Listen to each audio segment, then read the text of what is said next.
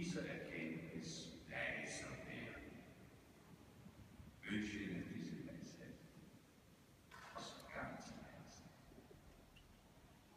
Und sie